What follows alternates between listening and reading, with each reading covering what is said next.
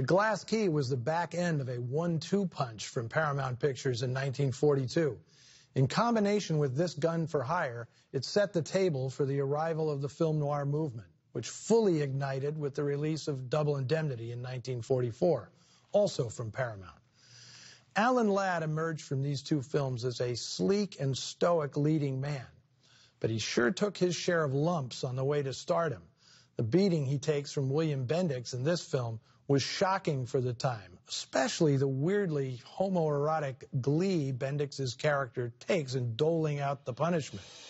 The story goes that for the sake of authenticity, Ladd told Bendix not to hold back, and as a result, one of those right crosses knocked Ladd out cold. No hard feelings, though. Ladd and Bendix became best friends in real life. They even bought houses across the street from each other. Bendix wasn't the only one in the cast who packed a punch. Although she was barely five feet tall, Veronica Lake could dish it out pretty good herself. After she overheard Brian Donlevy make disparaging comments about her on the set, Lake took full advantage of a legitimate chance for revenge. When Janet Henry smacks Paul Madvig in the kisser, Lake let loose with everything she had. Purportedly, Donlevy refused to do a second take. Now, this was still very early in Veronica Lake's career, but she already was burning bridges and her leading men at an alarming rate. Joel McCrea, who'd co-starred with her the previous year in Sullivan's Travels, refused to work with her again saying life is too short to make two pictures with Veronica Lake. Lake despised Fredric March, her co-star in I Married a Witch, made the same year as The Glass Key, also at Paramount. Clearly, Brian Donlevy was no fan. Fortunately, she achieved detente with Alan Ladd, enough for Paramount to pair them seven times, four times playing fictional characters and three times as themselves. Last year, Veronica Lake's autobiography was republished, and I was honored to write the foreword. She wrote it in the early 1970s, mainly to answer rumors that had dogged her for years about schizophrenia, drug abuse, and alcoholism.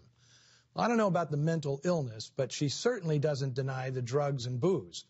What's most compelling about her story is how she felt trapped by her fame and celebrity and the desperate measures she took to escape.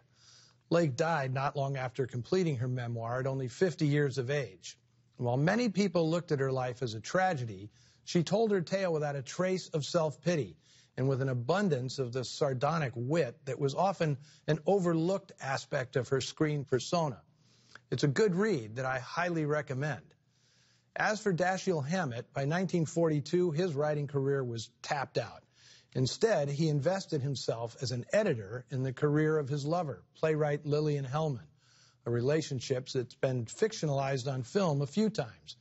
He also served five months in prison in 1951 for contempt of Congress after refusing to give up the names of suspected communists.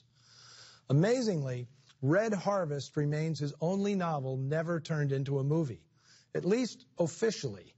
Its plot has been appropriated many times from Akira Kurosawa's Yojimbo to Walter Hill's Last Man Standing to the Coen brothers' Miller's Crossing.